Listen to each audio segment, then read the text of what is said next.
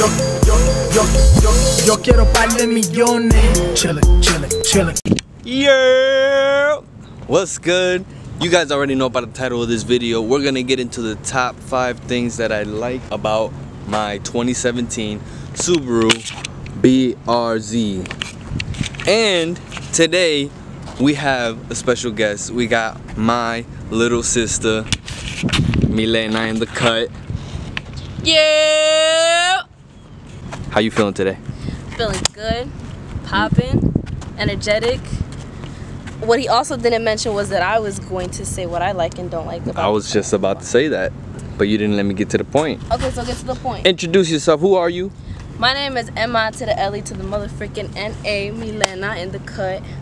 Alright guys, and we are about to get started on making the top 5 things that we like about the 2017 Subaru BRZ. Alright guys, so the first thing I'm going to point out, the first thing that I like about my 2017 Subaru BRZ are the headlights. The headlights are absolutely my favorite because on the year 2017 they actually made them all LED. Like as you can see in here, this whole light strip right here it's got the the curve that everybody likes. It has the halogen and it also has these are the turn signals right here and every single light is LED. And I just I don't even have to do anything to them because a lot of people with the older models, the 2013 to the 2016 are exchanging the headlights that I have and putting them on their car. Okay, so what I like about the car is like it's so much it's so different in person. It's like small. And I like it. But it still has that mean aggressive look even though it's small. You know what I'm saying? Like me. and like you would think it's hard to park because it looks bigger in the front than in the back, but it's not. You feel me? It's very just like perfect size for a small person. Very true on that. Very true. But it's also good for bigger people. Mhm. But the only thing is, for bigger people, you can't fit anybody in the back. These tail lights look absolutely amazing. And I cannot get over the fact of how they look. They have when you when you are when you have your little not your little, but when you have your regular lights on and when you brake, you have a little hook. See that hook right there? Wow.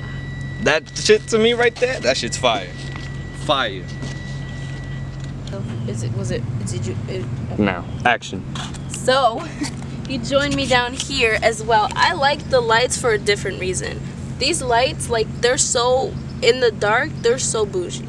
Like, if you see this car passing by with all these little lights on, it's bougie. It's gonna make you break your neck. You know what I'm saying? And we like to break necks around here. Oh, tell them what headlights they remind you of. What car? McLaren? You said, yeah.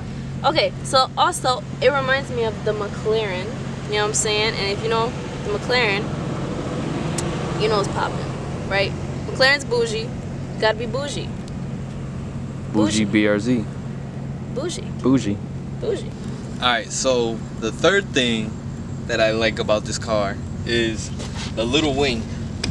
This little wing, it's noticeable, but it's also very, I don't even know how to say it. It's just the way how small it is and, and it goes perfectly wide with the car and the body lines. It just all lines up.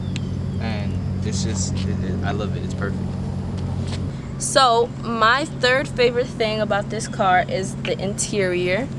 Specifically, you can see it's pretty much everywhere. The red stitching.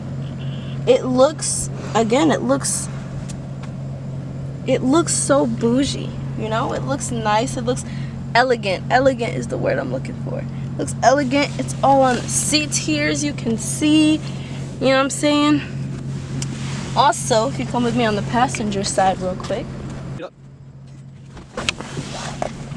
Right here, other than my beautiful flag, the stitching on this part right here really pulls the whole look together. You know? so my number four thing that I like about this car is the seats.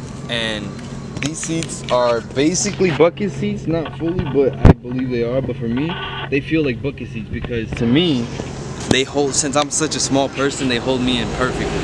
So, as you can see, I have the bolsters right here that are nice and wide.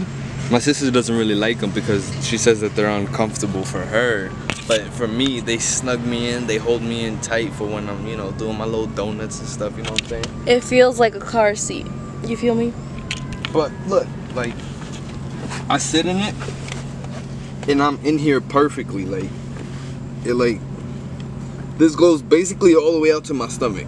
It might not be the same for bigger people, but since I'm such a small person, 140 pounds, and like five foot, what, eight, Don't ask me, boy. Yeah. five eight, I'm like, you know, and I got plenty of leg room. So the bucket seat is amazing, and you can also lower it and bring it up with this little lever here. I personally like it all the way at the bottom, so I feel like it's you know a race, a, like a, a real race seat, bucket seat.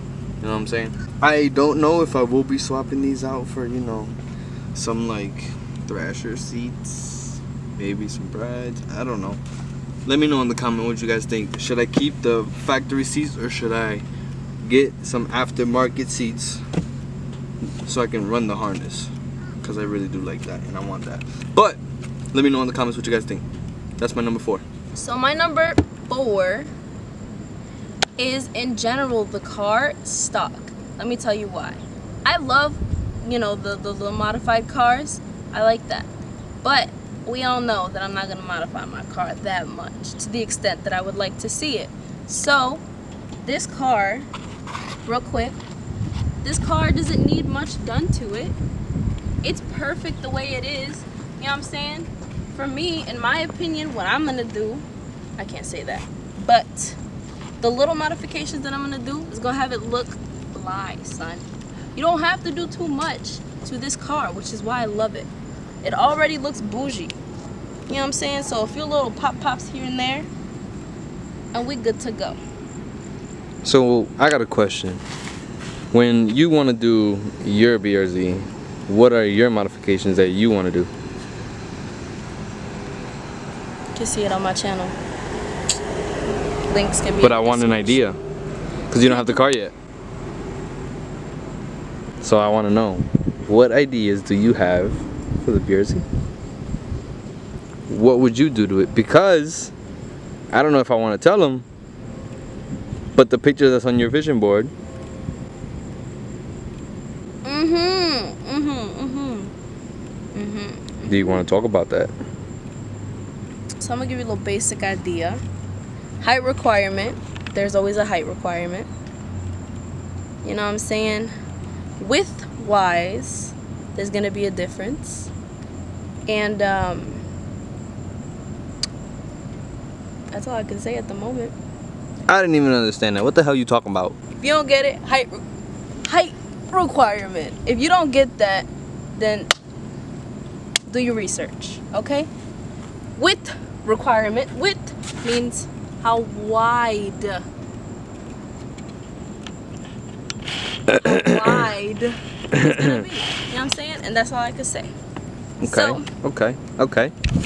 If you guys know, comment down below what she's talking about. I kind of do know because you know she's been told me, but if you guys know what she's talking about, because she doesn't want to, you know, say it, comment down below. You, she can't You know say it. You're right. She, if you guys want to see what she would do with her BZ, then you guys could go to her channel, Milena Mateo. Link down below.